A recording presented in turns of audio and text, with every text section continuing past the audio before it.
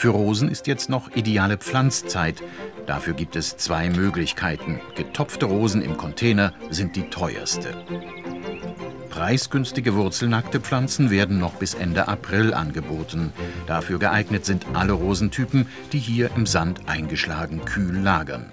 Wichtig dafür ist der Pflanzschnitt. Das frische Grün wird immer oberhalb eines nach außen zeigenden Austriebsauges entfernt.